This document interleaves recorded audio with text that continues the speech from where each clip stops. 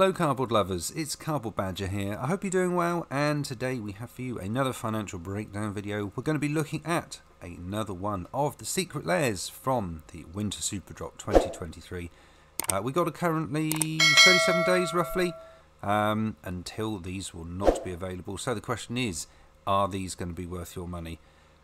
Or are you paying for some reprints? So today we're looking at the artist series. Uh, Sam Burley, who has been producing Magic the Gathering artwork and illustrations for 11 years, um, starting off with Avacyn Restored.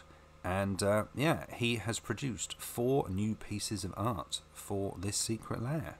So as per usual, we shall have a look at the new fantastic artwork before we then see whether or not we can actually purchase these cards from a previous set in Magic the Gathering's history. Are we able to buy functionally the same cards for less than $29.99 if you want the regular version and as per normal $39.99 for the foil version?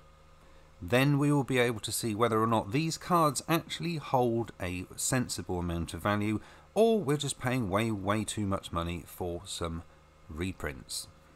So we better have a look at these four new pieces of art, starting off with Braid of Fire. For 2 mana, 1 and a red, we have an enchantment with a cumulative upkeep of add 1 red mana. Uh, at the beginning of your upkeep, put an aged counter on this permanent, then sacrifice it unless you pay its upkeep cost for each aged counter on it. Up next, we have a Planeswalker, Koth of the Hammer, for 4 mana, 2 red red. We have a legendary Planeswalker, Koth, loyalty of 3, and plus 1 ability. Untap a target mountain. It becomes a 4 4 red elemental creature until the end of turn. It is still a land. It's minus 2 ability. You can add 1 red mana for each mountain you control. And the minus 5 ability. You get an emblem with mountains you control. Have tap this land deals 1 damage to any target. We also have Master of the Wild Hunt. For 4 mana, 2 green green, we have a Human Shaman 3-3 with, at the beginning of your upkeep, create a 2-2 green wolf creature token.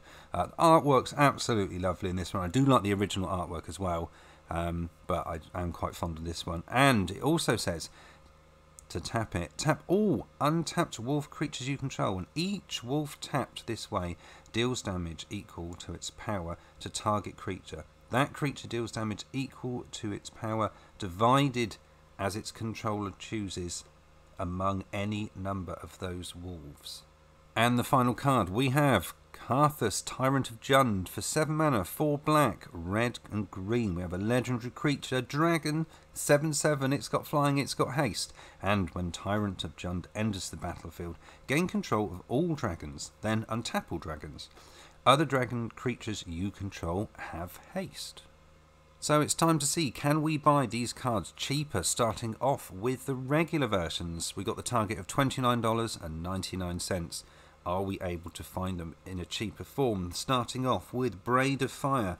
You can get a regular copy of this from Coldsnap, which is currently going for $11.47. If you would like Koth of the Hammer, uh, you can get a copy from Scars of Mirrodin. Uh, that's currently going for $3.98. And Master of the Wild Hunt uh, the cheapest way you can get a copy of this uh, is from Jumpstart 2022, which is currently going for 93 cents. And our final card, Karrthus, Tyrant of Jund. Uh, you can get a copy of this from Alara Reborn, uh, which is currently going for $4.67, giving you a grand total for the regulars of $21.05. So we shall repeat the process. Let's see how we get on with the foil equivalents. We have the target of $39.99 as I've mentioned. So are we able to do this cheaper? Starting off with Braid of Fire, you can get a foil copy from the Mystery Booster Retail Edition, uh, which is currently going for $10.48. Koth of the Hammer, uh, you can buy a foil from the Duel Decks Venser versus Koth. Uh, that is currently going for $3.33. and the Master of the Wild Hunt, uh, you can get a foil, the Master's 25 copy, which is currently going for $15.07. And finally, Karrthus, Tyrant of Jund. Uh, you can get a foil. Uh, the cheapest possible option is the Mystery Edition retail version.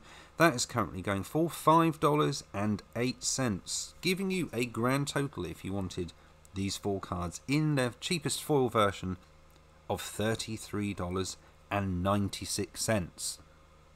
So there we have it. Uh, we have a secret lair which is not pumping out a huge amount of uh, value, shall we say. But if you like traditional, um, old school style artwork, then um, this set is obviously possibly going to be more interesting to you than maybe some of the other sets in the Winter Super Drop. Um, it is not the worst by far, I have to say. There have been some secret lairs with way, way less value, but it all is dependent on whether or not you actually like the artwork. Um, that is also something that's seriously individual to everyone.